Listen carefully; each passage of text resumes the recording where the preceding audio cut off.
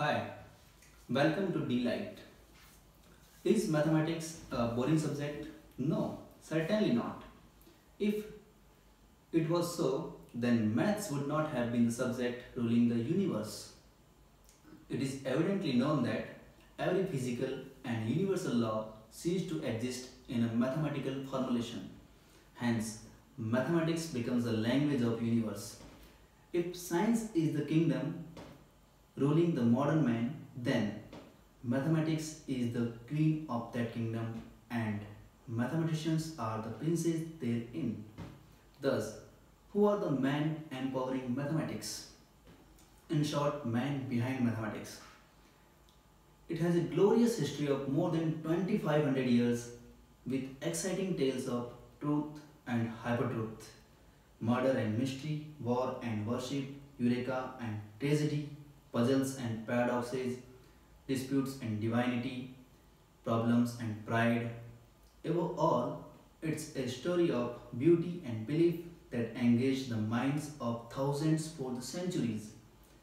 In this video, I am going to tell you about some books which are very good at portraying the essence of thoughts and lives of those geniuses, which will illuminate and entertain you with the tales of Brotherhood of Pythagoras, Superhumanness of Gauss, Dispute of Calculus, The Lost Paradise of Cantor, Saving People in Wars, and interestingly, the winning of Britain in Second World War with the help of Turing machine.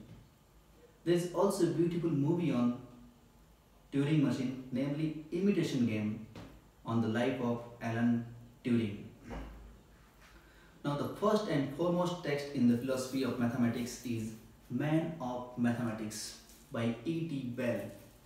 It's a journey of unusual life and philosophy of almost all mathematicians since 500 BC to 20th century era.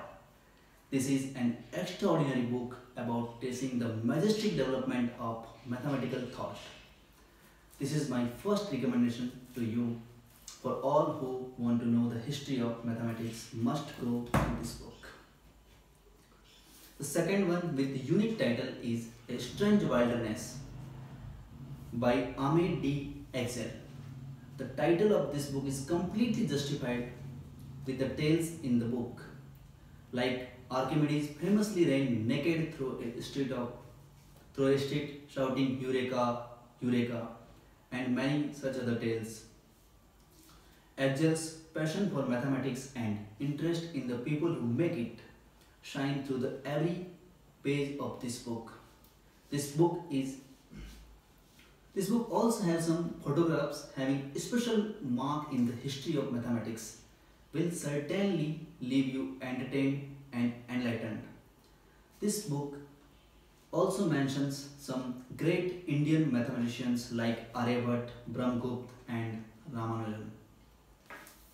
So you must go through this book as well. Third in the series is God created the integer. Interestingly, the title of this book is a famous saying by Kronecker that God created the integer and rest is the work of man because it is beyond the human capability to design such a beautiful sequence of integer with their entwined properties. This book is edited with the commentary by Stephen Hawking.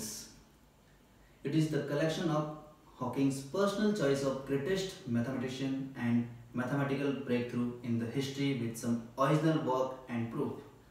So, to fully understand this book, you need some mathematical breakthrough. You need some mathematical background. Although a general reader may skip the mathematical work and detailing in this book. Now, so this is the second, uh, this is the third recommendation from my side. You must go through these three books to completely know the history of mathematics.